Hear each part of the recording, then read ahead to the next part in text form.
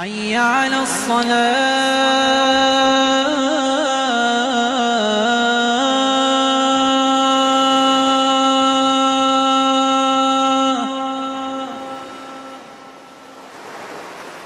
حي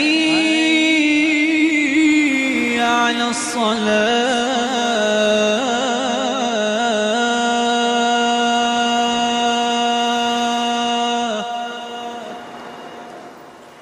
أكثر من 400 يوما والمقام مغلق بعدما كان مقصدا ومعلما للجميع من داخل وخارج لبنان. الكورونا فرضت نفسها وأغلقته. وبعد الانخفاض الملحوظ في عداد كورونا ها هو مقام النبي ساري في بلدة عدلون الجنوبية يفتح أبوابه أمام زائريه. لعله يكون التقرب من الله عز وجل أقرب من أي وقت مضى.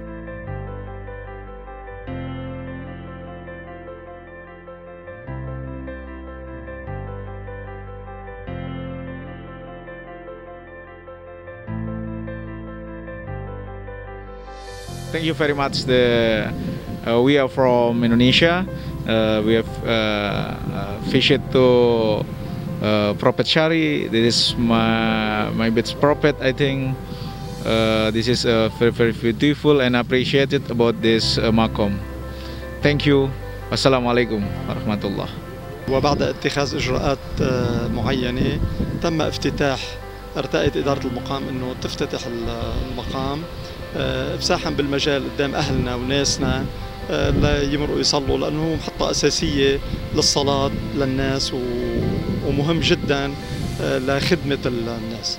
الحمد لله بفضل القيمين على هذا المقام والناس الواعية وافتتاحها بهالوقت هذا قبل عيد الفطر السعيد مع الالتزام. ونشدد إحنا على الالتزام على إنه يكون في تباعد في لبس كمامة إذا كان في اختلاط بين الناس وإن شاء الله يكون يرفع البلاء عن هذه الأمة بحق محمد وآل الأمة إن شاء الله. من حسن الحظ إنه الواحد على الأوتوستراد يكون طالع على الجنوب يلاقي آه، مقام أو جامع أو مصلى يصلي فيه. يعني آه، مثل آه، أيام زمان كان في الخان الرحالة يرتاحوا. هلأ نحن تطورنا أكثر صار- في جوامع صار في مزارات على الطرقات. في الواحد يصلي يرتاح شوي ويكمل آه، مسيرته. آه، بعد جائحة كورونا تسكر المقام والصراحة أثر علينا كثير هذا. وهلأ الحمد لله إنه رجع فتح وهذا بتقولوا بيرجع بيعطي حيوية وحياة للمقام وللمنطقة كلها مش بس لل لعدلون يعني. خدمة المصلين خدمة المسافرين. وموقعه ممتاز والله يجزي الخير لكل الناس اللي قاموا بالمشروع هذا.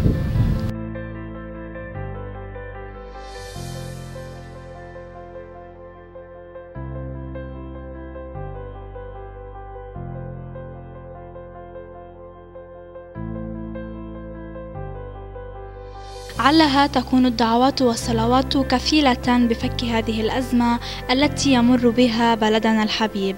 ونحن على أعتاب وداع شهر الرحمة والبركة. نطلب من الله عز وجل أن ينظر إلينا نظرة رحيمة. من مقام النبي الساري في بلدة عدلون باتول جمال موقع هوان عدلون.